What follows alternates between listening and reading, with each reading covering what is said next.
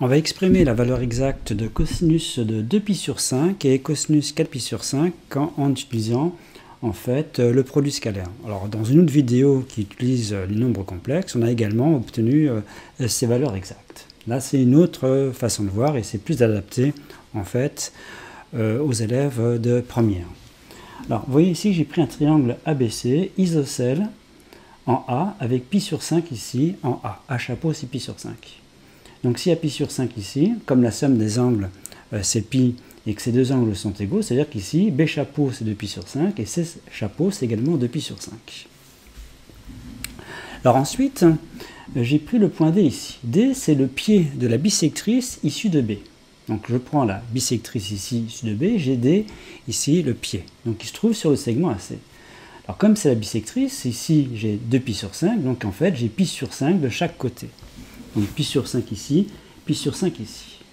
Alors maintenant, ce qu'on va faire, on va regarder euh, les triangles. Donc je regarde le grand triangle ABC et le triangle ici BDC. que euh, voit-on sur ces deux triangles? Eh bien, dans le triangle ABC, il y a pi sur 5, 2 pi sur 5, 2 pi sur 5. Et dans le petit triangle ici, euh, DBC, DBC, il y a pi sur 5 ici, il y a 2 pi sur 5 ici, il y a 2 pi sur 5 ici. Donc ces euh, deux triangles ont exactement euh, les mêmes angles. Ce sont deux triangles isocèles et qui ont exactement les mêmes angles. Alors on dit qu'ils sont semblables. Alors quand ils sont semblables, ça veut dire que les côtés sont proportionnels. C'est-à-dire que si on fait le quotient des grands côtés, c'est égal au quotient des euh, petits côtés. Alors les grands côtés, c'était ici, pour le premier, il y avait AB et le grand côté euh, du deuxième, c'est euh, BC. Donc AB, grand côté du grand triangle, et BC, grand côté du deuxième, égale le quotient des petits côtés. Donc le petit côté ici pour ABC, c'est BC. Et le petit côté euh, du triangle BCD, c'est CD. Donc on obtient cette égalité qui se traduit par BC carré égale AB fois CD. Alors par convention ici, BC ça vaut 1. Donc BC c'est 1. Et j'appelle AB X, c'est le côté inconnu. Donc ça me fait 1 égale X fois CD. Bon, ça c'est une première chose. Alors, CD, ici il faut euh, voir ce que peut valoir CD. Alors CD, on s'aperçoit que CD, c'est AC moins AD. Et AC, comme le triangle ABC est isocèle, AC c'est X. Donc ça fait X facteur de...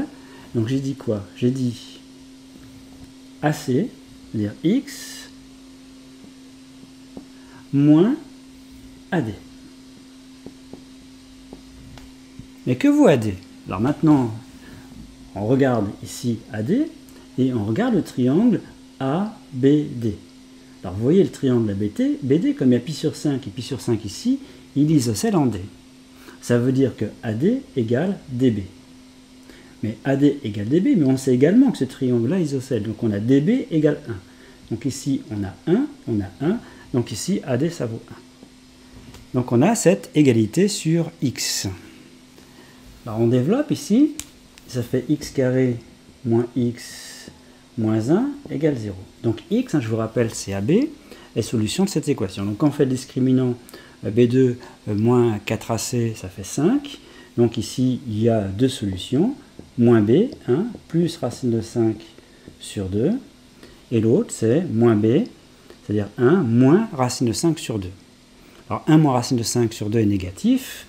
Donc ici, AB, qui est x, c'est 1 plus racine de 5 sur 2. Donc voilà ce que vaut AB. Alors remarquez que 1 plus racine de 5 sur 2, c'est le nombre d'or. Donc en fait, dans ce triangle isocèle, si je prends ici comme côté 1, eh bien, ce côté, c'est le nombre d'or. Maintenant, je veux le cosinus de 2pi sur 5. N'oubliez pas, c'est l'objectif. Alors pour faire intervenir cosinus de pi sur 5, c'est cosinus B chapeau. Donc ce que je vais faire, je vais exprimer le produit scalaire euh, BA scalaire BC. Alors, je vais l'exprimer de deux façons différentes. Déjà, la première façon, en disant que c'est BA fois BC fois cosinus B chapeau.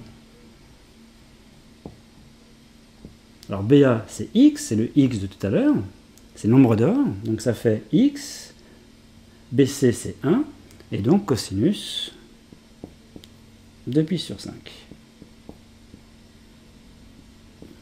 La deuxième façon euh, d'exprimer ce produit scalaire, c'est avec le projeteur orthogonal. Donc on va projeter ici le point A sur EBC.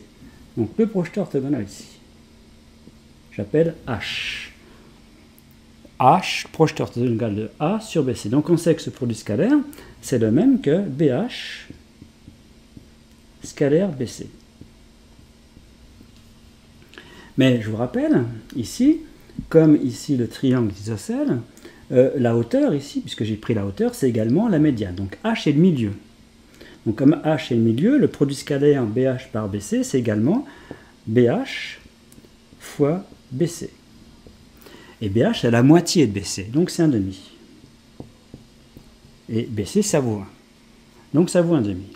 Donc on obtient que x fois cosinus de pi sur 5, ça vaut un demi. Voilà ce qu'on obtient. Donc euh, cosinus de pi sur 5, c'est 1, on divise par x, 1 sur 2x. Bien, autrement dit, le cosinus de pi sur 5, c'est euh, la moitié de l'inverse du nombre d'or. On prend l'inverse du nombre d'or, on prend la moitié. C'est 1 sur 2 fois le nombre d'or. Alors on fait le calcul maintenant, puisqu'on connaît le nombre d'or. On a dit que le nombre d'or, c'était 1 plus racine de 5 sur 2, donc ça fait 1, et 2x, donc ça fait 1 plus racine de 5. Donc pour se débarrasser de ça, on sait euh, la méthode, on multiplie par 1 euh, moins racine de 5 en haut et en bas, donc ça fait égal 1 moins racine de 5, donc je multiplie ici par 1 moins racine de 5, divisé, je multiplie ici par 1 moins racine de 5 en bas, donc en bas ça fait 1 moins 5, hein, ça fait 1 au carré, moins racine de 5 au carré, c'est-à-dire moins 5. Donc ici ça fait moins 4.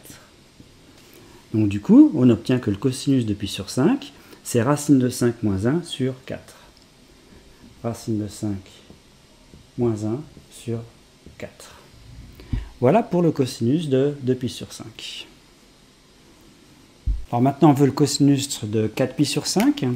Donc on rappelle la formule qui donne cosinus 2x, formule de duplication, c'est 2 cosinus carré x moins 1. Donc ici, je vais l'appliquer avec x égale 2pi sur 5. Donc si je prends x égale 2pi sur 5 ici, je vais avoir 4pi sur 5.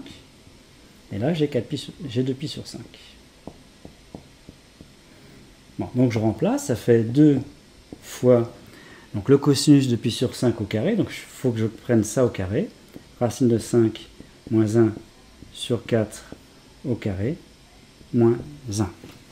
Donc je vais développer ce carré et je vais réduire au même dénominateur. Alors déjà, en développant, vous voyez, je vais avoir 16 ici, 16, parce que j'élève au carré, et j'ai 2 devant. Donc en simplifiant, ça fait des huitièmes. Donc je pourrais peut-être tout mettre sur 8. Donc ce que je vais faire en haut, donc déjà, vous voyez, j'ai mis tout sur 8.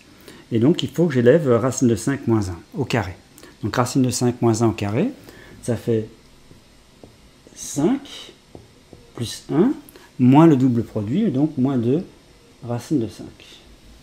Donc ici, si je développe, ça fait 6 moins 2 racine de 5, moins 8, soit moins 2, moins 2 racine de 5 sur 8, ou encore en simplifiant par 2, moins 1, moins racine de 5 sur 4.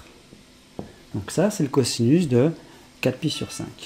Cosinus de 4pi sur 5, c'est moins 1 moins racine de 5 sur 4. Alors on trouve un nombre négatif pour un cosinus. Je vous rappelle que euh, quand vous avez ici, alors 4pi sur 5, c'est compris entre 0 et pi, donc ça correspond en fait à une mesure principale ou à un angle géométrique, hein, c'est ça, c'est un angle géométrique, donc c'est entre 0 et pi, et ça, euh, c'est un angle obtus. C'est supérieur à euh, pi euh, sur 2.